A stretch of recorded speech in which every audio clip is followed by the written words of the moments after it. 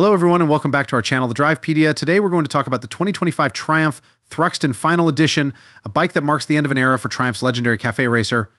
So let's dive right in. The 2025 Triumph Thruxton Final Edition is based on the high-spec Thruxton RS. This special edition gets a competition green paint job with hand-striped gold line work. Each bike is signed by the artist who painted it.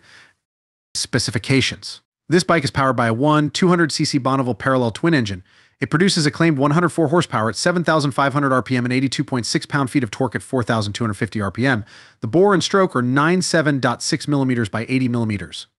The compression ratio is 12.11. The chassis includes a fully adjustable Showa big piston inverted fork and Öhlins piggyback shocks. It also features 32 spoke wheels with aluminum rims, Metzeler Racetec RR tires, and Brembo M50 calipers.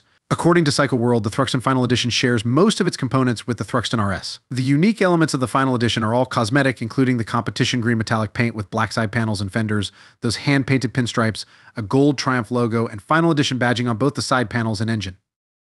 Rider magazine states that the most striking feature of the Thruxton Final Edition is its exclusive competition green paint scheme with hand-painted gold pinstripes. A special touch is that each bike is signed by the artist who painted it. Overall, the 2025 Triumph Thruxton Final Edition is a fitting tribute to a legendary cafe racer. It combines the performance of the Thruxton RS with unique styling touches that make it a truly special motorcycle. If you're a fan of Triumph's cafe racers, this is a bike you won't want to miss out on. That's all for today's review of the 2025 Triumph Thruxton Final Edition. Don't forget to like, share, and subscribe to the Drivepedia for more car and bike reviews. Until next time, safe driving and happy motoring.